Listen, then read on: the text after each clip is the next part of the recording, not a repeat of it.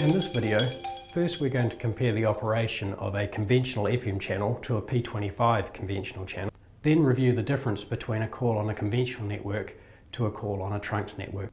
On an analog FM channel, when the PTT is pressed, the microphone converts the speech into an analog electrical signal. It is amplified and filtered to pass only frequencies in the range 300 Hz to 3 kHz. This audio band contains all the frequencies required to understand human voice.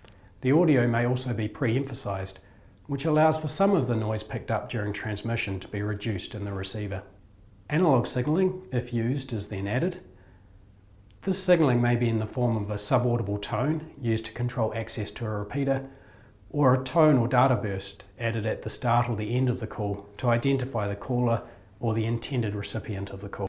The audio and any signaling is then encoded onto an RF carrier. The encoding device is a voltage controlled oscillator and produces frequency modulation or FM. In FM, the carrier is deviated in relationship to the amplitude of the audio. The frequency modulated signal is then amplified and transmitted. In the FM receiver, the FM signal that was transmitted plus any noise picked up along the way is converted back into analog audio.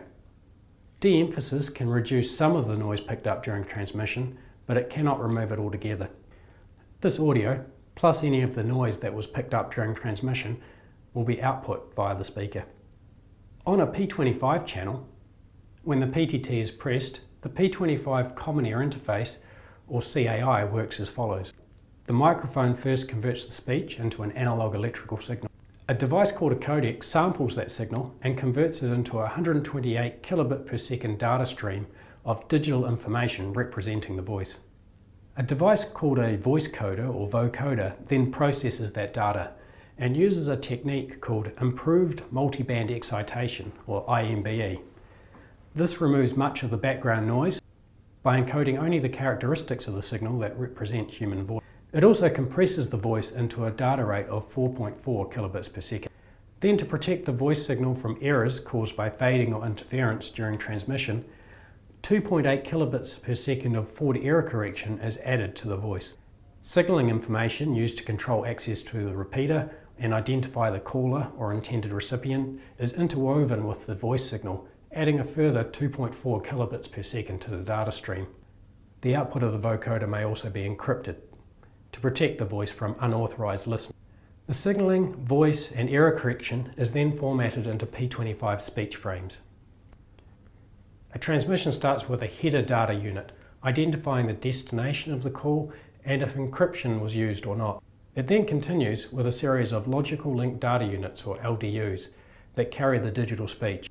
The LDUs also repeat the signaling information and a synchronization sequence so radios can join the call late or re-enter if they drop out due to bad RF coverage and then come back into the call. The call ends with a terminated data unit, indicating that the PTT has been released and this is the end of the call. In the P25 radio, a modem modulates the carrier with this digital data. In phase 1 P25, this is done using a modulation scheme known as C4FM. When receiving a P25 signal, the reverse of the transmit procedure takes place. The radio demodulates the signal and corrects any errors and extracts the signaling. The vocoder and the codec then reconstruct the original analog voice signal from the digital data. Because of the error correction and the fact that the transmission was digital, any noise picked up during the transmission does not appear in the reconstructed analog voice. This audio is then output via a speaker.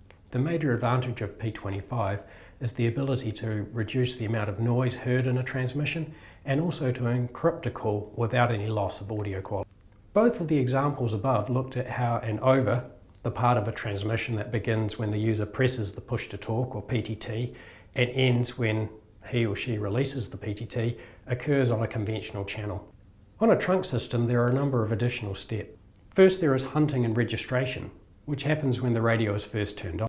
The radio is turned on and automatically identifies the closest site and requests permission to use the network. Next is affiliation, where the radio automatically requests permission to use a particular group. All of this takes place on a dedicated channel called the control channel. Once the radio has registered and affiliated, it will indicate that it has service and can be used to make calls. When the PTT is pressed on a trunk system, the radio first sends a message on the control channel requesting permission to make a call. The trunk network then responds on the control channel with the ID number of a traffic channel to use for the voice call. This information is received by the calling radio and by all of the radios in the group that were called. All the radios then automatically tune to the traffic channel and the call can take place. This call setup all takes place in less than a second. At this point, all the radios are on the traffic channel and the voice is transmitted just like on a conventional radio channel. When the PTT is released, the channel may be reserved for a few seconds to allow a reply to the transmission, at which point the call ends and all of the radios return to the control channel, ready for the next call.